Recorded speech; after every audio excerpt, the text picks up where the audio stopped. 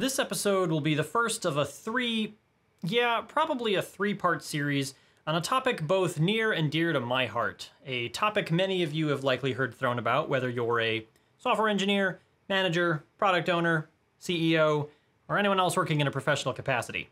That topic is technical debt, or tech debt for short, the all too popular phrase that many fear yet few truly understand the implications of.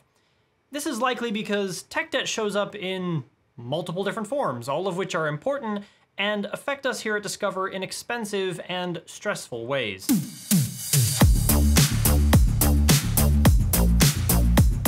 Before I go into the various forms, let's try to define what tech debt is. In a nutshell, technical debt results when you produce a piece of code in a way that makes a later created piece of code more difficult or time consuming to produce. So basically, if you make a technical change that makes a later task harder to achieve, you've incurred technical debt.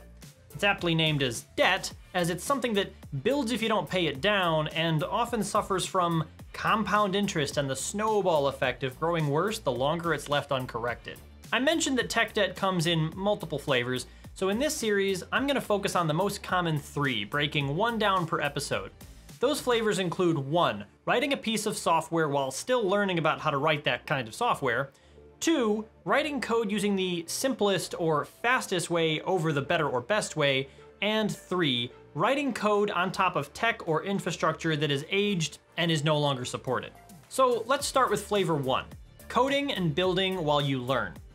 Have you ever gone back and looked at something you wrote years ago and thought, man, today I'd write this differently? Yeah, that's because you've learned and experienced more since you wrote it. Perfectly normal to be better at it now than you were before. Code is no different. Imagine you're building a wooden table, but all you've ever used before is a handsaw and some wood glue. You design the table, then start building it. Partway through, I introduce you to a tape measure and a miter saw, and wow, the next few pieces you make are way better than the first few. Actually, they're much better, and make the old parts look bad. Before you get a chance to remake the old pieces though, I introduce you to a pocket hole jig and screws. This new tech expands the possibilities of your table build, and you quickly realize that you could have made a much stronger, better looking table had you known at the beginning what you know now. When it comes to writing software, this form of tech debt basically stockpiles code that could have been written better but the necessary knowledge wasn't available at the time. As you continue to pile it up, you end up with this hodgepodge of differing levels of quality, all in the same repository of code. For the table, this would mean mismatched legs, joints, and potentially even surfaces. An ugly table. So how do we begin to tackle such a problem? It's safe to say that we can't know what we don't know until we know it, so seeing into the future isn't an option. The answer is actually pretty simple though. But as is the way with hard to swallow pills, there will be some audience members here who scoff at that solution. Thus is life.